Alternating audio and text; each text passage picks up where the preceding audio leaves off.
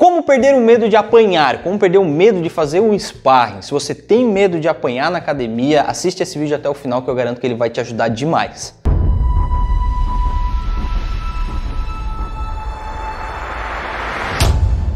Salve Kanaki Muay, eu sou o treinador Will Vieira. Se você não me conhece ainda, eu já trago conteúdo aqui para o YouTube, já gravo vídeos aqui para o YouTube há mais de dois anos, então tenho mais de 300 vídeos já lançados aqui para vocês. Pratico Muay Thai há mais de 15 anos também.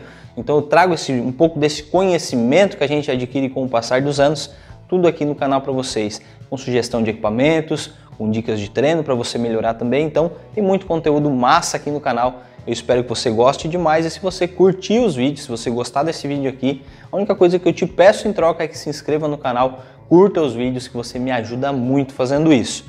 O assunto de hoje é como perder o medo de fazer o sparring, como perder o medo de apanhar. É, é, o mais comum que acontece quando uma pessoa é, fica com aquele bloqueio de começar a treinar o Muay Thai, começar a treinar o boxe, começar a treinar algum tipo de arte marcial, é o medo de apanhar. Aí geralmente ela, elas migram para esportes que não tem contato físico de uma forma geral. Então a pessoa que tem medo de apanhar, ela não quer fazer o sparring, ou ela tem algum receio, ela tem algum trauma, e a gente vai tratar tudo isso nesse vídeo, tá?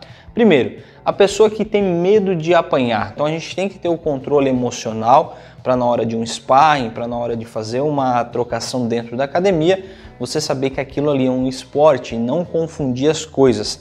Essa é a primeira dica que eu posso dar para vocês, tá? Às vezes esse nosso bloqueio ele vem de diversos locais. Quer ver um exemplo? Por exemplo, às vezes você tem medo de apanhar porque tem medo do que os outros vão pensar de você ter tomado um soco, de você ter sido semi-nocauteado, ou às vezes você tem medo de lutar por medo do julgamento das pessoas, de você ter ganhado ou de você ter perdido. Então, é, esses bloqueios às vezes eles vêm de lugares tão profundos que você não consegue nem identificar, tá? Mas de uma forma geral, o maior medo que as pessoas têm realmente é da vergonha, né? Ah, eu não sou bom, então eu vou apanhar, eu vou, eu vou ficar com vergonha porque as outras pessoas estão assistindo na academia, né? Então esse bloqueio também ele vem muito dessa parte de você se sentir envergonhado pelo que os outros vão pensar, de você ter tomado um golpe, de você ter, de ter entrado um golpe, você ter sentido, ter sido ali semi-nocauteado, alguma coisa nesse sentido.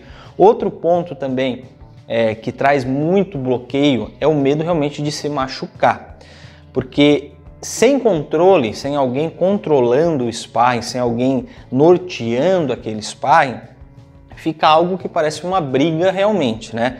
Então por isso que escola de combate ou, ou escola de artes marciais, centros de treinamentos, eles têm um coordenador, eles têm um professor, eles têm um mestre para estar tá fazendo esse trabalho de dar uma segurada nos ânimos, porque é como eu falei, quando o ser humano se sente acuado, ele é igual a um bicho, né? Eu tomei um, dois golpes, eu vou querer revidar esses golpes a todo custo. E quando eu começo a querer revidar esses golpes a todo custo, é que está o problema, né? Por quê? Eu vou bater forte, eu vou bater errado, eu vou me machucar ou machucar o meu colega, sendo que eu tenho que entender que o meu colega de treino ele está ali para me ajudar. Então, eu não estando disposto e o cara não estando disposto ou o cara estando machucado, eu não vou ter colega de treino, eu não vou, não vou ter com quem treinar. Então, isso é uma coisa que vocês têm que botar na cabeça. É, sparring, treinos não são feitos para você se machucar. Né? Se está se machucando é porque alguma coisa de errado. Tem entrar um golpe é normal, ah, um cruzado, um direto, entrou um golpe, entrou um chute na perna, um chute na barriga, um direto na barriga. Isso tudo vai acontecer, tudo com uma moderada força. Não posso é, achar que eu estou num ringue e, e, bater forte no meu colega de treino, tá? Isso não é sparring, isso aí é briga, é briga de rua. Então isso está errado. E se você está numa escola que acontece dessa forma e você não é um atleta, você não está treinando para competir, você simplesmente está treinando para aprender, porque o sparring ele é algo que é essencial para você desenvolver o teu jogo. Então não adianta você só bater aparador, manopla, que você não vai ter o jogo tão bem desenvolvido. Agora não, professor, eu só quero treinar realmente porque eu gosto do esporte, eu quero aprender os golpes, eu não, não gosto de fazer sparring realmente, né? É como eu falei, Cada ser humano é um ser humano, ele tem os seus limites, ele tem os seus preconceitos, ele tem ah, as suas limitações realmente que vão fazer com que esse ser humano tenha as suas dificuldades. Ah, um tem mais dificuldade em fazer uma coisa, outro tem mais dificuldade em fazer outra, e isso é natural. E de forma nenhuma isso pode se tornar algo que vai te impedir de praticar o esporte. Mas para você que tem realmente o medo de fazer sparring, veja, é, reveja na verdade os seus conceitos, o que, que te causa esse medo. É o medo de apanhar? É o medo de tomar um golpe é, e se machucar? É o medo da lesão? é o medo do julgamento das outras pessoas, do que elas vão falar, é o medo de não saber o que fazer, porque esse medo de não saber o que fazer, você só vai saber o que fazer praticando isso várias e várias vezes. É, então, assim, ó, tem diversos medos que você tem que se conhecer e ver da onde que vem esses seus traumas, esses seus medos. Né? Isso é bem importante para que você consiga desenvolver o teu jogo do Muay Thai de uma maneira melhor. Algumas sugestões eu já trouxe aqui em outros vídeos para o canal, que são a escola de combate, para você fazer escola de combate. Não sei se na tua academia vocês fazem isso, mas é bem bacana também. Então a escola de combate é interessante. Depois você fazer uma luvinha, um sparringzinho bem de leve e você ir progredindo esse sparring. Você não pegar, colocar um aluno iniciante, fazer sparring com um aluno avançado, que muitas das vezes você vai, em vez de ajudar esse aluno iniciante, você vai traumatizar ele porque ele vai ver o quão incapaz ele é de enfrentar uma outra pessoa. Então, assim, ó, medos, receios, existem diversos, né? A gente poderia ficar falando meia hora, uma hora aqui só de medos e, e traumas e limitações que as pessoas têm com relação ao combate, né?